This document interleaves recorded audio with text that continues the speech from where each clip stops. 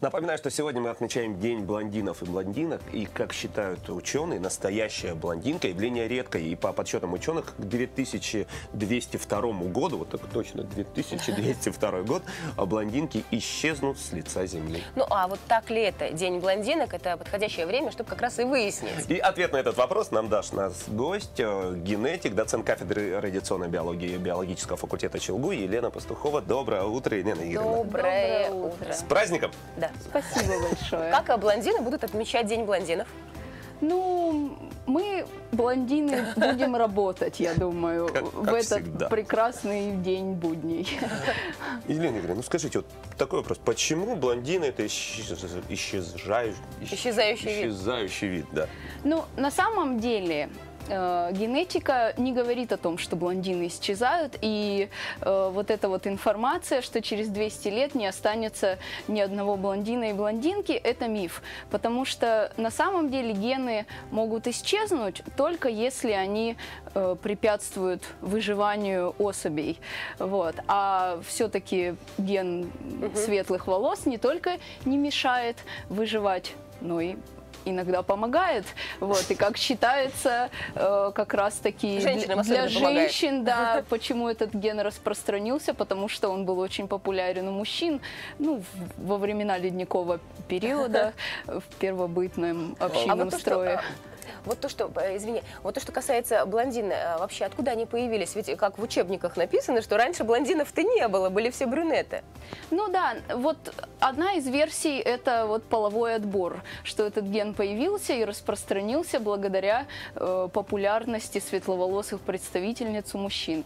Ну а вообще при расселении э, по Европе э, люди вот современного типа постепенно утрачивали пигментацию, это было для них полезно, но в основном из-за кожи, конечно, э, витамин D синтезируется в коже светлой э, лучше при недостатке солнечного света. Вот, и, ну вот, э, эти гены светлых волос, светлых глаз, возможно, тоже были связаны. Ну вот, есть разные версии. А вот при каких обстоятельствах у родителей может родиться ребенок блондин? Вот что должно сойтись? Ну, вообще этот ген рецессивный, поэтому э, у двух родителей блондинов э, будут дети блондины. Вот. Но Это стопроцентно, да? Ну, должно быть так, да, если не будет посторонних вмешательств. Ну, разнообразных. Вот. А если родители брюнеты, у них тоже может появиться ребенок блондин, если они гетерозиготны, то есть в, скры- в скрытом состоянии у них у каждого есть вот этот вот ген светлых волос. Примерно 25% вероятности в таком случае рождения светловолосого ребенка.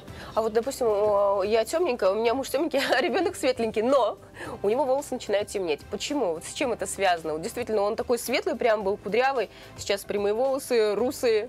Ну, это тоже такое явление распространенное, что цвет волос определяется примерно к одному-двум годам, но в в 5 он может поменяться, потом при половом созревании тестостерон обычно затемняет волосы, вот, так что, в А, м- общем-то... а можно ли наоборот посветлеть? Вот, допустим, А, осветлить? Очень Да-да-да-да. легко, сейчас много красок. нет, а без вмешательства Ну, какой-то вообще седина, вот, есть такой Осветляет, вариант. Либо иногда посветление волос может наблюдаться при недостаточном питании и голодании, но это тоже не очень А хороший вариант. Есть статистика, по которой говорится, что вот блондинов м, больше на северах, у северных народов, где холодно. Ну Потому вот, что снег, снег, да, отражение. чтобы сливаться. Да нет, ну вот это как раз связано с солнечным светом, с витамином D, скорее всего. Ну вот плюс, ну разные версии, как я уже сказала. Ну, а вот мы, конечно же, понимаем, что женщинам-блондинкам, ну, по жизни немножко легче, скажем так, а, да. Вот. А вообще, вот а, этот цвет волос, он на что-то еще влияет? Может быть, на Характер, продолжительность жизни, настроение. на характер, да, настроение. Ну, есть версии, да, что с блондинками, конечно, сложнее, что они более там Капризные? капризные, да, но на самом деле, я думаю, ну, не знаю, вот, конечно, точных результатов научных исследований. Мне кажется, что это больше мнение Ну, э, обывателей. Знаете, вот я, я никогда блондинка не была, но делала ламелирование, я скажу. После того, как я- Да. Нет, не, не все, конечно, меняется, но когда сделала ламелирование, я себя прям по-другому ощущала. Было очень много светлых волос, и я себя вела как блондинка, ну, какое-то время. Потом устала себя так вести и стала опять брюнеткой. Ну что же, большое спасибо вам, Елена Игоревна. Напоминаю, что сегодня мы говорим весь, все наше утро о блондинах, о блондинах, потому что сегодня день блондинок. Вот. Да, ну а вот о будущем блондинов и блондинок мы беседовали с генетиком, доцентом кафедры радиационной биологии биологического факультета ЧЛГУ Еленой Пастуховой. Да, ну а мне все-таки кажется, что независимо от цвета волос, музыку любят все, правильно? Тем более на телеканале ОТВ. И прямо сейчас музыкальная пауза.